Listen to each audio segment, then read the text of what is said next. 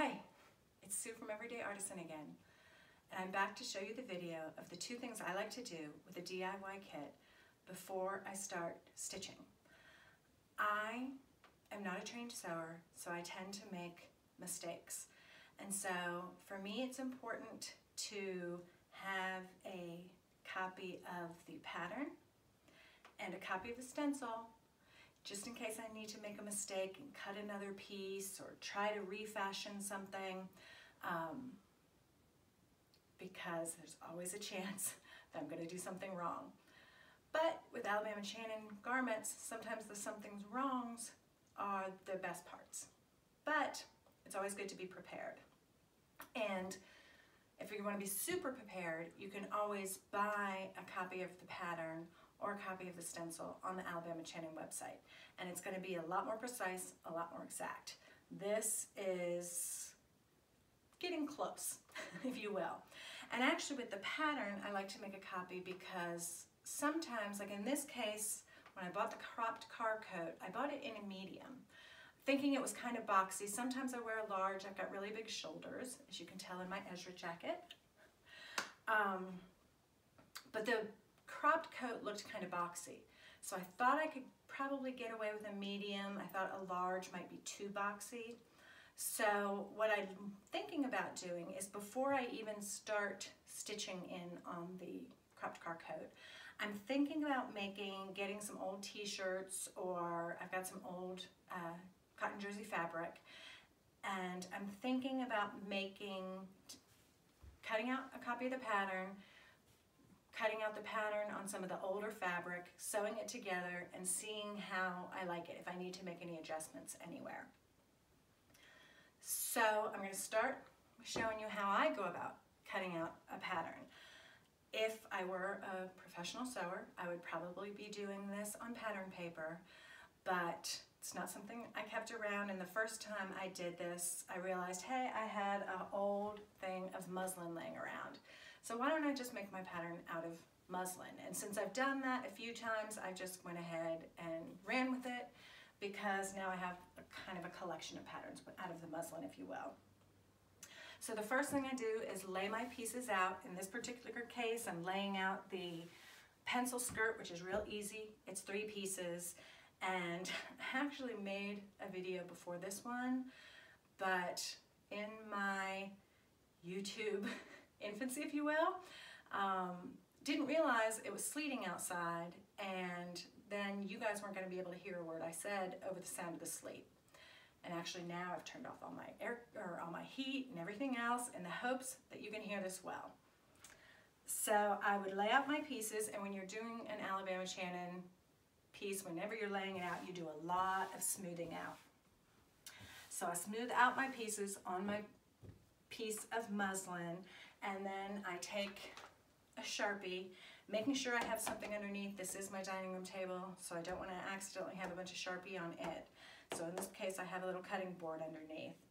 And I just trace around the piece. I already did the front pencil skirt piece, but just to show you what it would look like, literally, you know, it doesn't have to be perfect. When I go back and cut, I usually cut off the Sharpie line. So the Sharpie lines are just a tiny bit outside of the actual line itself. Sometimes I get a little wonky. I go back through and make sure I know where the line should be. And then before I go about cutting, oh, this one's getting tricky.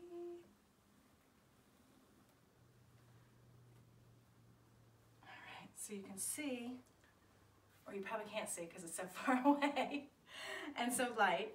Um, now I have a piece that I will cut out in muslin.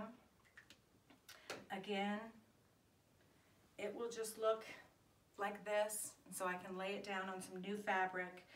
On this case, I've marked it pencil skirt front large. I've marked the grain line and I've marked where I need to place it on the fold to be able to make a cut. So now I know if I accidentally cut something wrong, if I feel like I need to um, make a mock-up in cheaper fabric before I start working on the beautiful Alabama fam fabric, I can.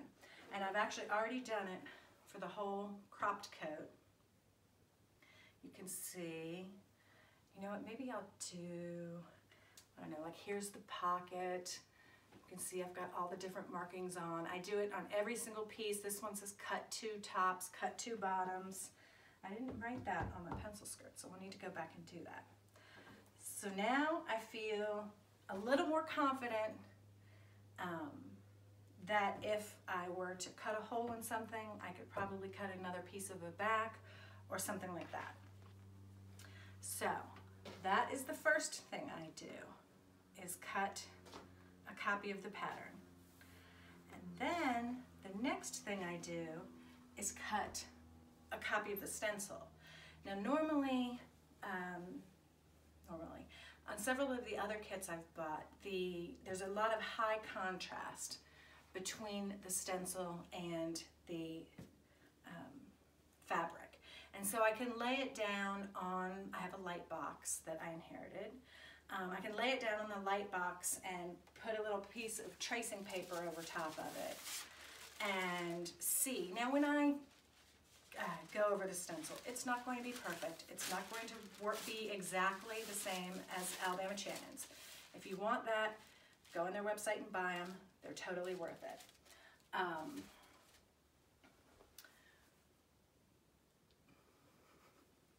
brain fart. Um, I'm gonna have to cut out the middle of this, aren't I? Yes.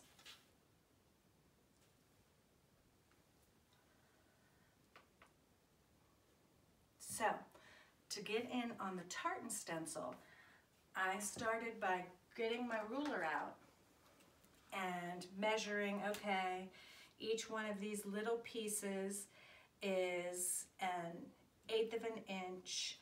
And I was like, okay, let's see if I can draw it out. You know what, I'm gonna get a piece of graph paper to draw this on. Maybe having those lines is gonna make sure I do it all easy. And then when I measured graph paper, of all things, it's the exact same sizes as the tartan stencil. So as you might be able to see, I went ahead and did colored in all of what the stencil would look like. Now, probably at this point, I should have taken just this piece of graph paper and used my little X-Acto knife and cut it out and used this kind of as the basis for making my stencil. But I was like, well, if it's quarter of an inch, I can just go through and mark up my pennant felt and work on it that way. And so that's what I did. And give me a second here. First of all, know that this pennant felt is fantastic stuff. I actually purchased this online from Alabama Chanin, got three yards, I believe. And I like to grab all kinds of different stencils to do fun things. Um, a good example of something that I did was I grabbed a stencil from my alma mater, Go Hoos, and changed it up a little bit. I think I changed down here, you know, trademark, you don't ever want to copy anything exactly. Um, but then I made this and I put it on a tote bag, I put it on a t-shirt for my son who's now going to, to UVA. So um, I love having pennant felt around to grab any kind of shape I want. And in this particular case, you can see I've gotten started on my tartan. It was just a matter of using the ruler and measuring out lines, both vertically and horizontally, and then going over it with my X-Acto knife. Um, as you could well imagine, like I've probably put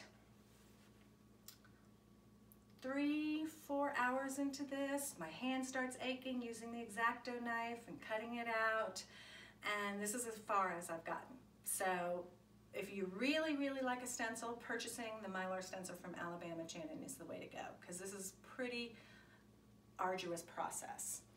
Um, and then to boot, I go back through and realize as I measure this, it doesn't measure up exactly. This stencil I'm creating is a little bit larger in scale than that on my kit. So fortunately, I'm not really worried about that. I don't, the only project I have in mind um, that I may want to use this stencil for is I have the Alabama Chanin pants pattern. And what I'm thinking about doing is creating a pair of pants to go with my suit. And, excuse me, I'm thinking about making a pair of pants to go with my suit. And the pants, I was thinking about doing a tuxedo stripe of just little squares down the side. Um, so this would come in handy for that. Scale doesn't really matter, but if scale matters, if perfection matters, buy the stencil. So those are the two things that I do before I even start stitching on my kit. And in the meantime, I have a fun idea that I'm going to test out some different techniques on the stitch sampler and I'm going to turn the stitch sampler into a tote bag. I've got a couple uh, blog posts on my website where I've shown you I've done that a couple times. I think the UVA tote bag is on there as well. Um, but I thought that would be fun to have a tote bag to match the coat, to match the skirt, and maybe even the pants if I eventually get that far. Um, so my next video will be all about how I'm going to make the tote bag. So I really thank you for joining me today. Again, check out my Instagram, check out my blog. I think most of my stuff is on my blog, but I'm really uh, enjoying going on this journey with you guys. So thanks for joining me. All right, bye.